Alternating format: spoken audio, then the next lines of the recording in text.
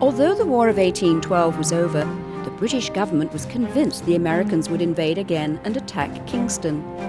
Kingston was the British military and naval base on Lake Ontario and the first major outpost above the St. Lawrence River.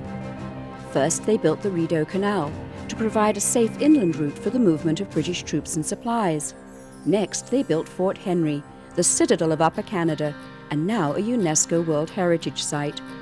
Well, Fort Henry was actually the nucleus of the protection of Kingston Harbor. Everyone had the original belief that the fort was built backwards. The main battery was facing inland rather than out onto the open water, but uh, that's not true.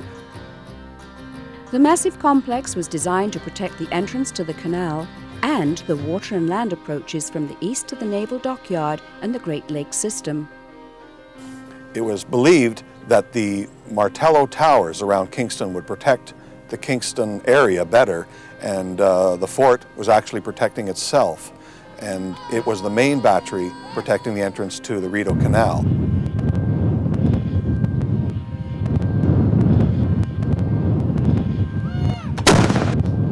garrison attacking the fort could not completely surround it because there's not only a dry moat leading down to the water edge on, uh, on both sections of the fort, but the fort itself is completely surrounded also by a dry moat. So nobody could ever get near the fort without negotiating these deep, deep trenches. Every summer, the Fort Henry Guard and enthusiastic reenactors help to tell the story of Fort Henry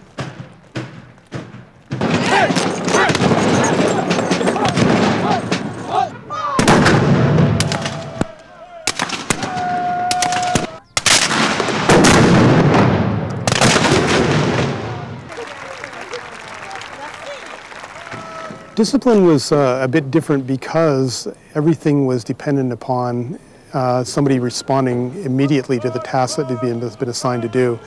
So what we look at now in terms of, uh, of drill where we see soldiers on parade grounds, it's more of a, a ritual that takes place with, uh, with a historical background. But during this period, actually it was a matter of life and death. Soldiers parading in long lines was an attacking strategy on the battlefield. Failure to perform your duty could jeopardize the lives in your regiment. Discipline was critical. And if they didn't comply with the discipline that was uh, instructed by the officers and the non-commissioned officers, I think you're drunk. there were ramifications that could come into place. Smell it on your breath, Gunner! Why do you feel you need to get drunk? It helps me relax, Sergeant. Helps you relax? Does this uniform not relax you enough? No, Sergeant. No! Absolutely disgusting! I'm only paying you one penny today! All's well! All around! Shoulder! Arms! Uh, the wooden part is called the stock, uh, the barrel, obviously, and uh, the part that actually fires off is called the action or the lock. So this is where we get the term lock, stock, and barrel. But life in the fort wasn't all drills and fighting. Some of the soldiers were allowed to bring their families. And they would have responsibilities and duties as well. The children would be schooled in the schoolroom here. England is on the map, yes, twice, to emphasize the superiority of our country over the rest of the world, show that the sun never sets on the British Empire. I see elbows on the table.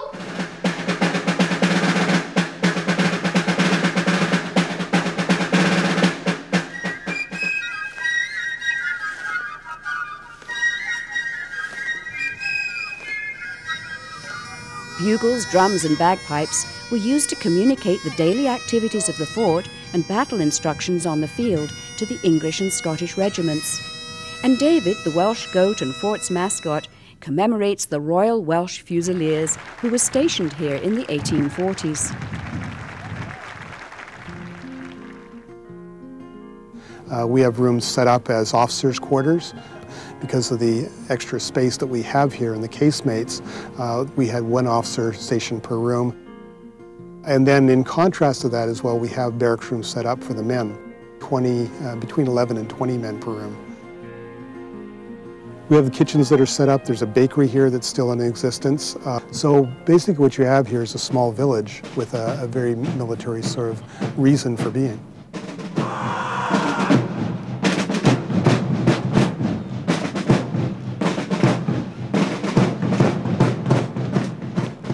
The sunset ceremony is based on a ritual referred to as a tattoo, and that was something that took place every evening. Uh, it comes from the Dutch expression do den tapto, and it means to turn off the taps. And it was the symbol for publicans to, uh, to stop serving soldiers drinks. They knew that they had to be back in barracks, and it was the end of the evening.